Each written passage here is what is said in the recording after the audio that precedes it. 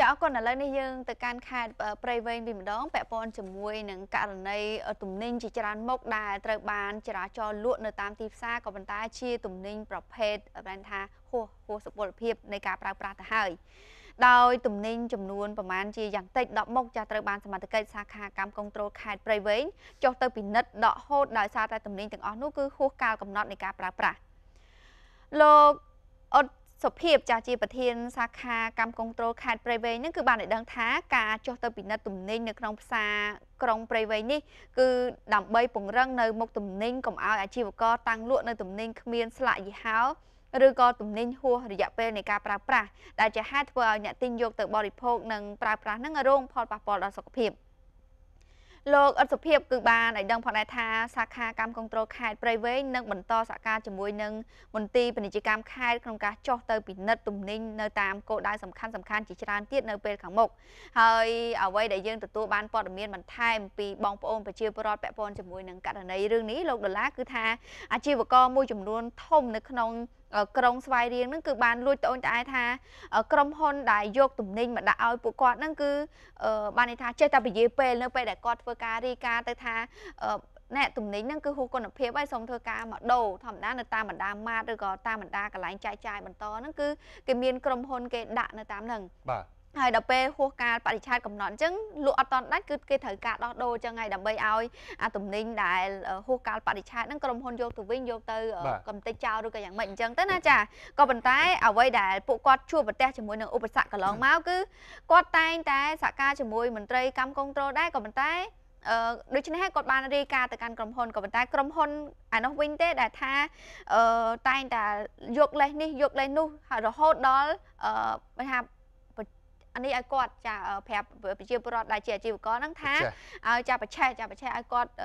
ដាក់លក់ដូរបន្តទៅដាក់បន្លំបន្លំទៅគ្មានណាគេដឹងទេចានេះគឺជាការលើកឡើងព័ត៌មានបន្ថែមពីបងប្អូនប្រជាពលរដ្ឋដូច្នេះហើយបើហិតតែល្អទៀតគួរតែបងប្អូនប្រជាប្រជាពលរដ្ឋប្រាប់ទៅខាងសមត្ថកិច្ចកម្មគ្រប់គ្រងមន្ត្រីកម្មគ្រប់គ្រងទៅថាក្រុមហ៊ុនណាចាបាទមានមានក្រុមហ៊ុនប៉ុន្តែយើងចង់ទុកឱកាសឲ្យបណ្ដាក្រុមហ៊ុនទាំងនោះភ្ញាក់រលឹក ហើយធ្វើការដោះដូរទំនិញឲ្យខូចគុណភាពជូនដល់ប្រជាពលរដ្ឋអឺមែនតើទៅអាជីវករគាត់អឺដែលឃើញសមត្ថកិច្ចទៅដល់ទីនោះបើតាមសេចក្តីរាយការណ៍មកថាអាជីវករខ្លះគាត់ដឹងថាគាត់លក់ទំនិញហួសសុពលភាពចាប៉ុន្តែនៅពេលដែលមន្ត្រីជំនាញចុះទៅដល់គាត់បានយកទំនិញទាំងអស់នោះទៅលាក់ទុកខ្លាចចាប់អញ្ចឹងហើយករណីនេះមិនមែនថាគាត់មិនដឹងទេទស្សនិកជនគាត់ដឹងថាទំនិញទាំងអស់នេះហួសសុពលភាពហើយ បើសិនជាគាត់លក់ទៅឲ្យប្រជាពលរដ្ឋនឹងអាចនឹងមានផលប៉ះពាល់ទៅដល់អ្នកប្រើប្រាស់ក៏ដូចជាបរិភោគប៉ុន្តែហេតុអីបានជាគាត់យកលាក់ទុកពីព្រោះថាបើសិនជាគាត់មិនយកទៅលាក់ទុកទេអឺនោះមន្ត្រីជំនាញនឹងចាប់ទំនិញរបស់គាត់កាលណាចាប់ទំនិញរបស់គាត់គាត់នឹងបាត់បង់ផលប្រយោជន៍របស់គាត់ប៉ុន្តែអញ្ចឹងសួរថាបញ្ហាចោតគឺនៅត្រង់ណាគឺនៅត្រង់ក្រុមហ៊ុន ដែលផលិតទំនិញនឹងឯងនាំចូលទំនិញនឹងឯងយកមកចែកចាយដល់អាជីវករទាំងអស់នោះมันមានការទទួលខុសត្រូវអញ្ចឹងហើយសូមឲ្យសមត្ថកិច្ចជំនាញគួរតែគេថាដឹកនាំមន្ត្រីចុះត្រួតពិនិត្យឲ្យបានច្រើនបន្ថែមទៀតពីព្រោះថាប្រជាពលរដ្ឋយើងងាយរងគ្រោះណាស់ដោយសារតែមួយចំនួនហ្នឹងគាត់ពុំសូវជាបានពិនិត្យឲ្យបានដិតដល់នៅមុខទំនិញដែលកំពុងតែចរាចរលើទីផ្សារប្រមាណទេយ៉ាងណាមិញជាក់ស្ដែងនៅតាមម៉ាតមួយចំនួនទស្សនិកជន បើសិនជាទស្សនិកជនខ្លះដែលនិយមចូលម៉ាតមិនថាក្នុងរាជធានីភ្នំពេញមិនថាតាមបណ្ដាខេត្តមួយចំនួននោះទេគឺថាសូមពិនិត្យមើលទៅ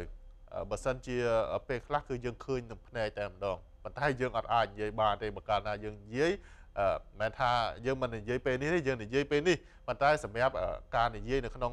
ទីកន្លែងដែលមានបញ្ហាហ្នឹងពេលខ្លះអាចមានបញ្ហាកើតឡើងរវាងម្ចាស់ទំនិញនឹងឯងអញ្ចឹងអ្វីដែលសំខាន់គឺមន្ត្រីជំនាញគួរតែចុះពិនិត្យឲ្យដល់គោលដៅជាពិសេសនាំយកទំនិញទៅខូចគុណភាពទាំងអស់ហ្នឹងយកទៅកំទេចចោលដើម្បីធ្វើយ៉ាងណាកុំឲ្យប៉ះពាល់ទៅដល់សុខភាពអ្នកប្រើប្រាស់ក៏ដូចជាអ្នកបរិភោគផ្ទាល់បាទពីព្រោះថានៅមានច្រើនទៀត វាស្របពេលដែលប្រជាពលរដ្ឋយើងឥឡូវនេះក៏គាត់កំពុងតែគេថាមានជីវភាពក៏រីកចម្រើនអញ្ចឹងទៅ ការប្រើប្រាស់នៅទំនិញក៏ដូចជាតម្រូវការរបស់ពួកគាត់ហ្នឹងក៏កាន់តែខ្ពស់អញ្ចឹងហើយប៉ុន្តែខ្ពស់ហ្នឹងក៏ហានិភ័យក៏កាន់តែខ្ពស់ដូចគ្នាដែរបាទអញ្ចឹងហើយដើម្បីការពារទាំងអស់គ្នាកុំឲ្យមានបញ្ហាប៉ះពាល់ទៅដល់ពួកគាត់